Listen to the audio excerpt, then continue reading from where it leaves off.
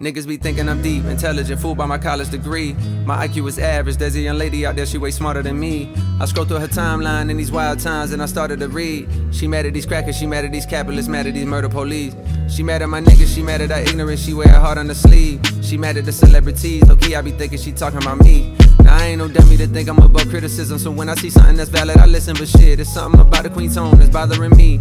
Strike me as somebody blessed enough to grow up in conscious environment with parents that know about the struggle for liberation, and in turn they provide with a perspective and awareness of the system and a fairness that afflicts them, and the clearest understanding of what we gotta do to get free. And the frustration that fills the words seems to come from the fact that most people don't see. Just cause you and I'm not, that shit ain't no reason to talk like you better than me. How you gon' lead when you attacking the very same niggas that really do need shit that you saying instead of conveying you holier? Come help us get up to speed. Shit, it's a reason. Took like 200 years for our ancestors just to get free. These shackles be locking the mental way more than the physical. I look at freedom like trees. Can't grow for us like overnight. Hit the ghetto and slowly start planting your seeds. Fuck is the point of you preaching your message to those that already believe what you believe? Almost a fucking retweet. Most people is sheep. You got all the answers, but how you gon' reach? If I can make one more suggestion respectfully, I would say it's more effective to treat people like children. Understanding the time and love and patience that's needed to grow. This change is inevitable, but ain't none of us seen this before. Therefore, we just gotta learn everything as we go. I struggle with thoughts on the daily. Feel like a slave to somehow to save. And no coins to buy his way up out of slavery. Think of just maybe in my pursuit to make life so much better for me and my babies. I done betrayed the very same people that look at me like I'm some kind of a hero because of the zeros that's next to the commas. But look here, I promise I'm not who you think. Ran into this nigga outside of the store yesterday. He said something that had me like, wait. He was like, oh, appreciate what you been doing, my nigga. That's real. But damn, why I feel faker than snow on the bluff? Well, maybe cause deep down I know I ain't doing enough.